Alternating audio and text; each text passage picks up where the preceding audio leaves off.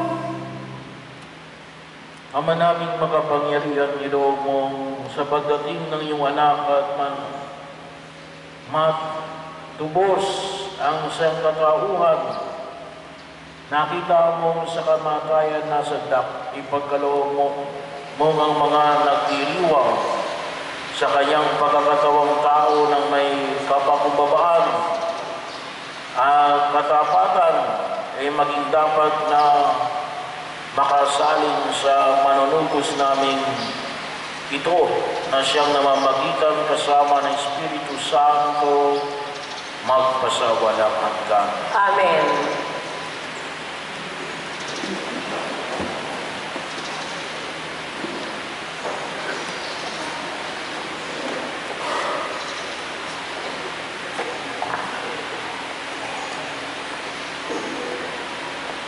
Pagbasa mula sa unang sulat ni Samuel. Noong mga araw na iyon, nang maawat na si Samuel, dinala siya ng kanyang ina sa templo sa Silo.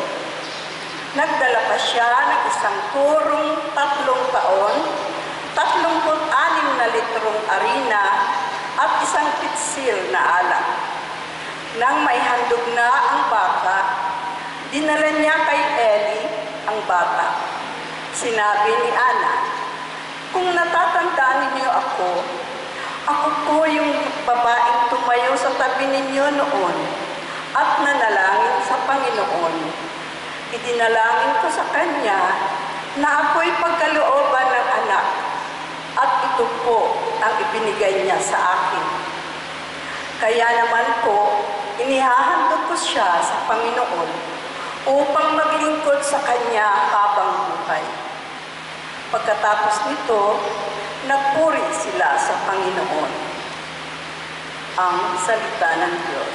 Salamat sa Diyos.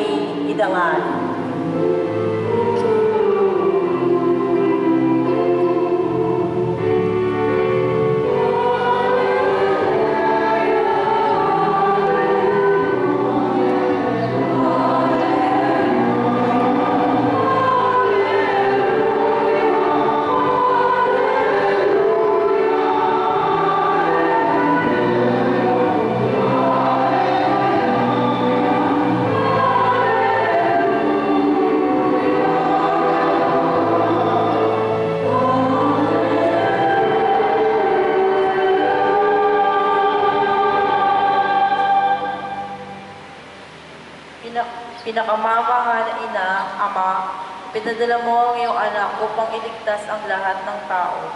Ikaw ay tunay na dakila. Tulungan mo kaming makapagpatawad sa lahat ng mga nagkakasakit sa naka, nakasasakit sa amin at maging mas maunawain sa taong mahirap pakisamahan. Sa ganitong paraan, hayahanda namin ang aming mga puso upang matanggap ang, ang aming Panginoon at tagapagligtas. Inihiling namin ito sa iyo sa ngalan ng iyong anak na si Jesus.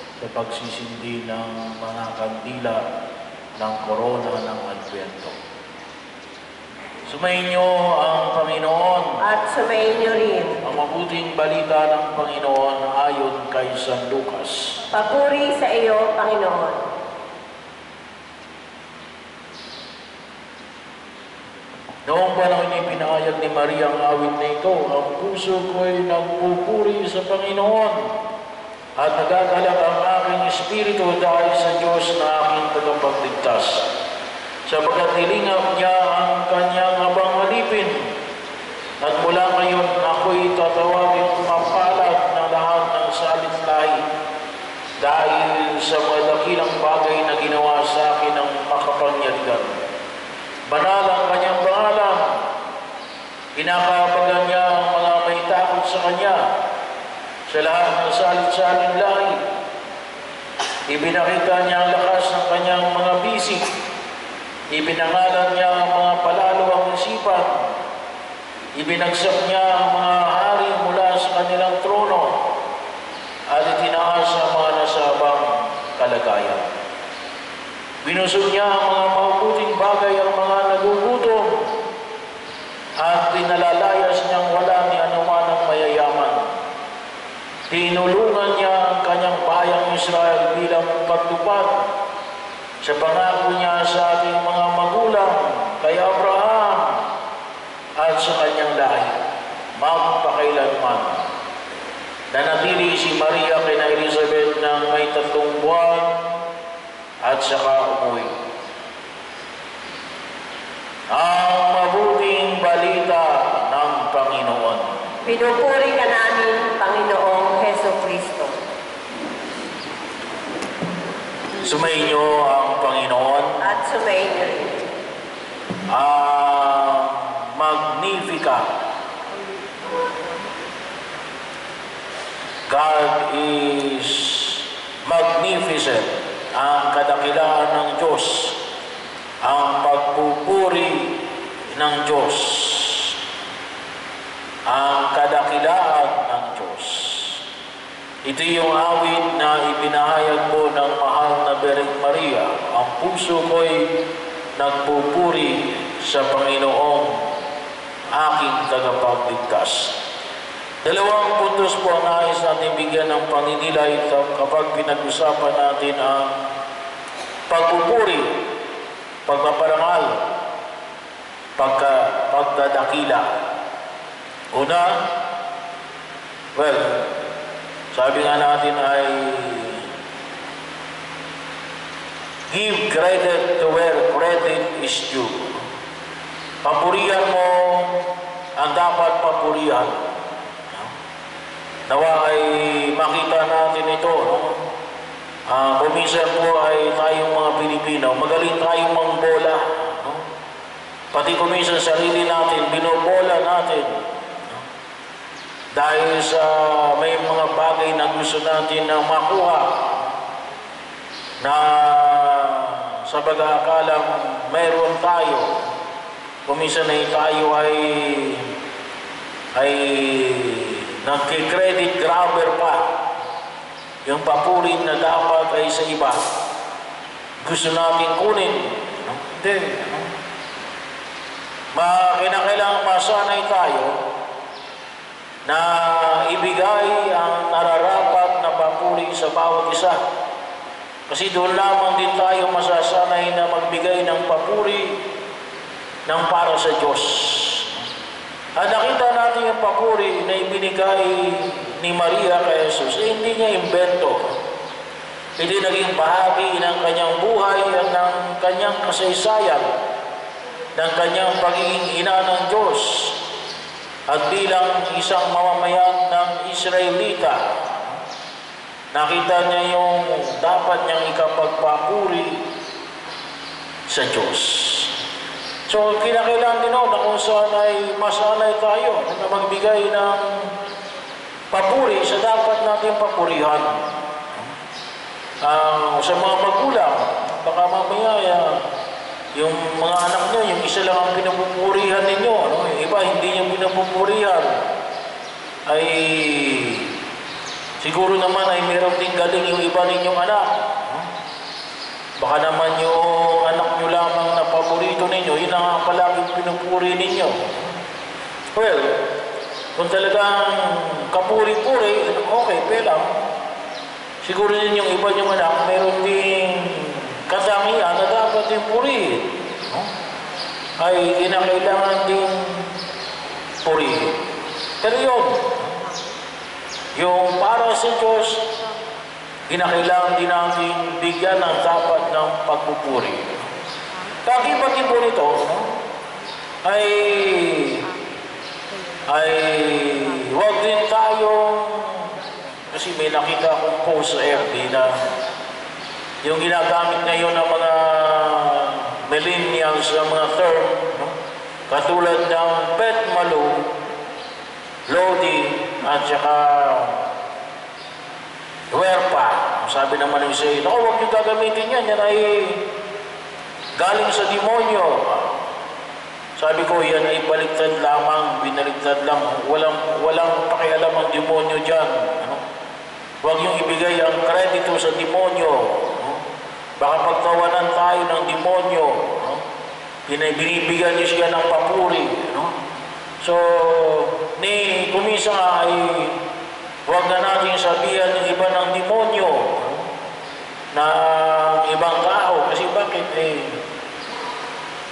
baka ibinibigay nyo na ang kredito sa kanya. no? Eh wala pa naman siyang ginagawa. So, bahagi yun na kung saan ay pag-ingatan din natin. Yung mga makabagong ah, terminolohiya ng mga bagong henerasyon ay kung hindi natin naiintindihan ay huwag nating ibigay ang kredito sa particular sa demonyo. no? So, kung tusin nga ibigay natin yung dapat na para sa Diyos. Yun po yung una. Ibigay ang dapat na papuri sa dapat papurihan.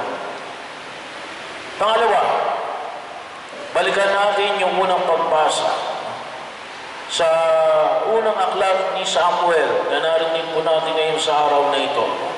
Matagpuan natin dito sa unang aklat ni Samuel, si Samuel mismo, no? yung bata pa siya. no? Ano nakita ko ito na si Samuel ay dinala ng kanyang nanay sa templo ng Jerusalem para ialay. Kasi alam naman natin yung unang ay yung mga lalaking anak ay inialay sa templo. Pagkatapos na ipanganak ng ilang araw. no? At dito po ay nag-alay si Ana. Ang nanay ni Samuel na later on, si Samuel ay magiging ah, propeta ng Diyos at isusulat niya yung dalawang aklat. Kaya nga po yung ito, itong ating pagbasa sa unang pagbasa ay siya mismo may sulat. Unang aklat ni Samuel at yung ikalawang aklat ni Samuel. Nakita po natin dito na alin, yung nanay ni Samuel ay katulad ni Maria, ni Elizabeth, na ni Manoah ay alin, ay nagbibigay ng papuri sa Diyos kasi bakit? Siya ay binigyan ng Diyos ng anak na kanyang inihiling. No? Kaya anong ginawa niya? Ah, nag-alay siya sa Diyos. Nag-alay siya sa Diyos. At ano yung alay na kanyang ibinigay sa Diyos? Yung tatlong taong ah, na baka, no? Ang tatlumput anim na litrong harina. So, yung unang paggamit po ay litro, no? Yeah, medyo yung timbangan ay medyo late ah, development na yon, ano? At yung po isang pitsil ng alak. no? Kaya isang bagay yun na kung saan ay isang tanda ng pagbibigay ng pagkaparangal sa Diyos. Yan. Yung pagkahandog sa Diyos. Yung offerings. Kaya po ako'y natutuwa kasi bahagi na ng ating kultura na tuwing Kapaskuhan, nag-aalay tayo ng para sa mga mahal natin sa buhay, o para sa mga kapatid natin na higit na nangailangan. No? Ito, itong bawat araw, meron tayong ibinibigay. No? Ay maliwanag po na yung pag-aalay natin ng pamisa, pag-aalay natin ng bigas, ay isang pagbibigay ng papuri sa Diyos. No? So, yung iba, kapag oh, ay yung tinatawag natin nagsasanta Claus pa. no? So, ito pala ay pagbibigay ng papuri sa Diyos. no? Iniaalay na. Bagaman ito napupunta ito sa mga duka, no? pero iniaalay natin sa Diyos. Ito'y tanda ng ating pagpupuri sa kadakilaan ng Diyos. Pero si Ana, hindi natapos yung kanyang alay doon. Ano pa yung inialay ni Ana? Yung kanyang anak, si Samuel. Ibinigay niya kay Propeta Eli. Para ano? Para maging propeta ng Diyos. Tama-tama din ho ngayong taon na ito bilang patuloy po natin paghahanda sa ah, 2021, yung 9-year program ng CBCP, Catholic Bishops Conference of the Philippines, sa limang daang taon, ngayon ay tinuturing natin Year of the Clergy and Consecrated Life. Hindi ho natin napapalitan nito, no? Pero ang ilalagay po natin dyan ay Year of the Clergy and of the Consecrated Life. So taon ng mga pari at ang mga nagandog ng kanilang buhay bilang konsagrado sa Diyos. Ano ba yung ibig sabihin ng consecrated life? Ay di yung yung mga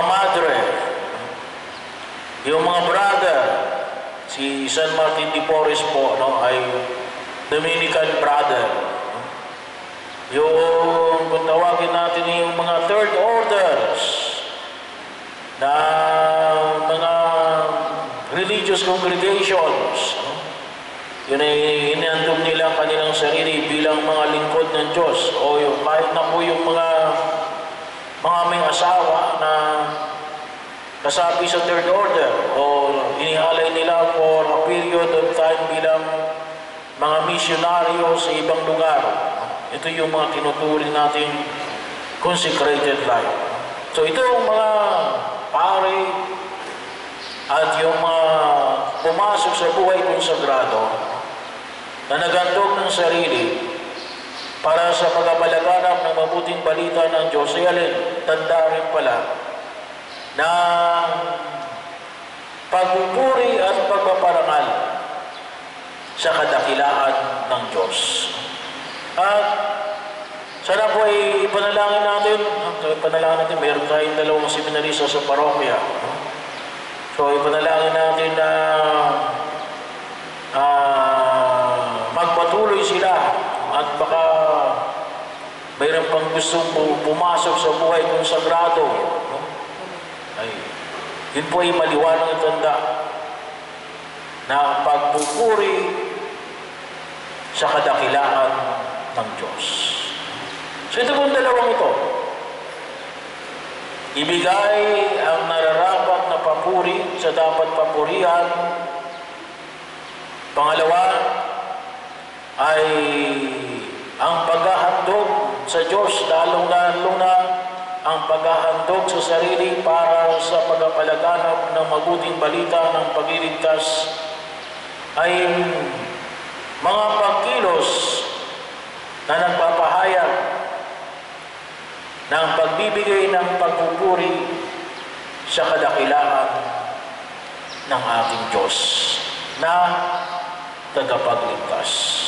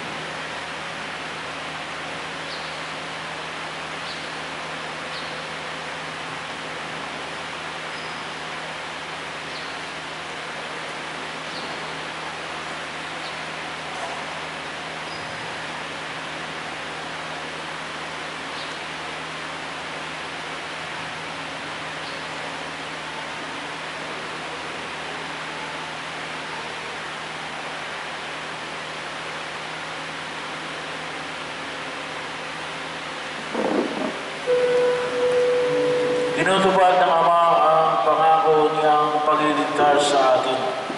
Dumalangin tayo sa Diyos sa diwa ng pasalamat at hanggang kagalakang bumubukal sa puso ni Maria sa bawat kahilingang itutugon natin. Panginoon, tingin mo ang aming panalangin. Panginoon, tingin mo ang aming panalangin. Maging mapagmalasakit nawa ang mga namumuno sa simbahan, sa mga dukha, sala, mga inaapi, at mga biktima ng karahasan at krimen. Manalangin tayo. Panginoon, tingin mo ang aming panalangin. Maglingkod nawa ng tapat ang mga pinuno ng pamahalaan at supilin ang kabututan gaya ng pagdarambong, pagmamalapis sa kapangyarihan at pagpapalaganap ng mga makatotohanang balita. Manalangin tayo. Panginoon, tingin mo ang aming panalangin. Puspusin nawa ng Espiritu Santo ang mga lumilingap at nagtataguyod sa mga mahihina at mahihirap. Huwag nawa nilang paghinaan ng loob. Manalangin tayo. Panang, tingin mo ang aming panalangin. Makaramdam nawa ng pagmamahal at pag-aaruga ang mga may kapansanan, mga may sakit, at mga nasa bingit ng kamatayan. Patatagin nawa Santo upang may alay nila ang kanilang paghihirap sa Panginoon. Manalangin tayo. Panginoon, tingin mo aming panalangin. May isabuhay nawa namin at magsilbing inspirasyon ang awit ni Maria na lumilingap sa mga lukhang umaasa sa Panginoon. Manalangin tayo. Panginoon, tingin mo aming panalangin. Ama, palakasin mo kami sa harap ng mga pagsubok at aliwin mo kami sa aming kalungkutan.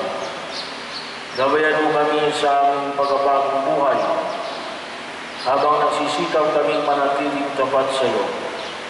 Sa pamagitan ni Kristo, aming Panginoon. Amen.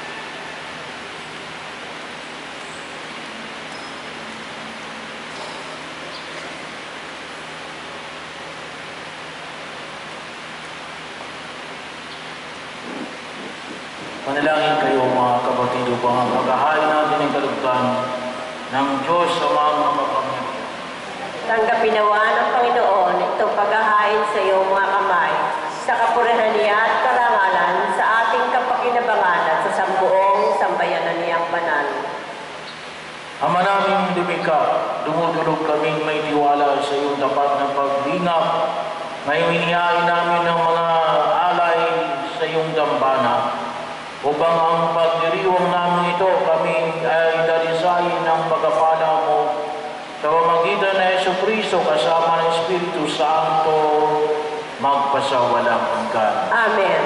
Sumainyo ang Panginoon At sumayin niyo rin. at sa Diyos ang inyong puso at diwa. Tinaas na namin sa Panginoon. Pasalamatan natin ang Panginoong ating Diyos. Marapat na siya ay pasalamatan. Ama naming makapangyarihan, tunay ng marapat na ikaw ay aming pasalamatan.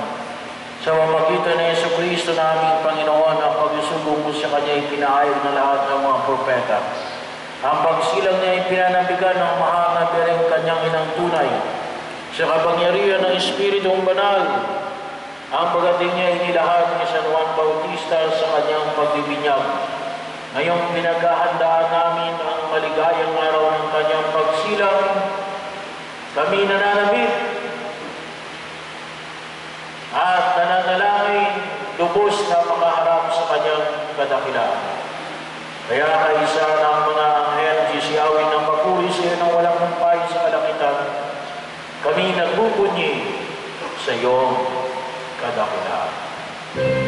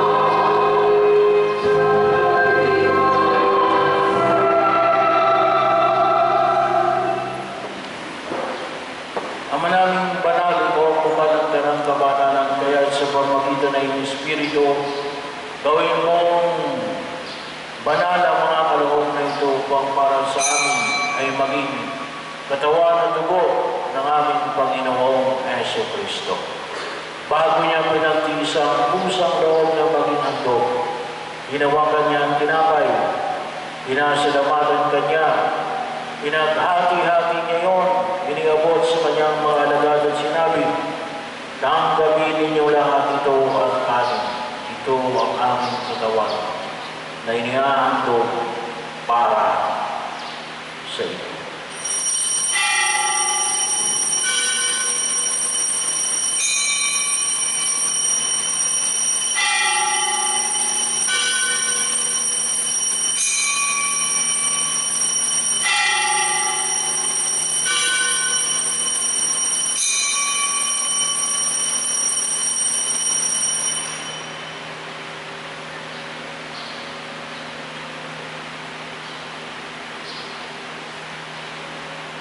Din naman matapos ang hapunan ninawan kanya ang kalis. Muling kanyang pinasalamatan. Iniabot niya ang kalis sa kanyang mga alagad at sinabi, Tanggapin ninyo lahat ito at inumin ito ang kalis ng aking dugo ng bago at walang hanggang ipan. Ang aking dugo na ibubuhos para sa inyo at para sa lahat sa kapagpapatawad ng mga kasalanan. Gawin ninyo ito sa pag